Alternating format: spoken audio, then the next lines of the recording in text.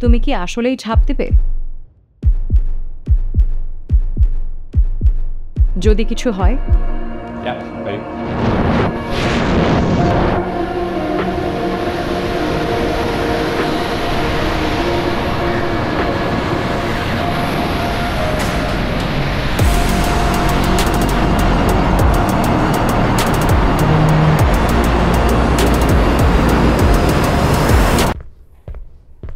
সবার মুখেই একই প্রশ্ন এসব করে কি লাভ?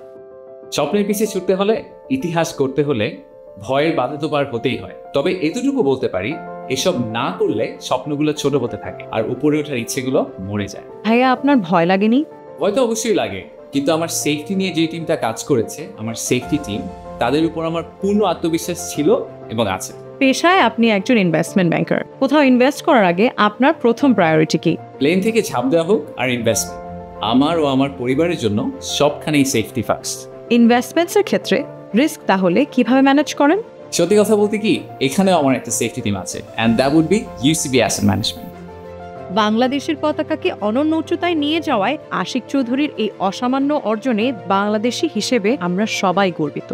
ইউসিবি অ্যাসেট ম্যানেজমেন্ট উদ্যোগে উৎসাহে।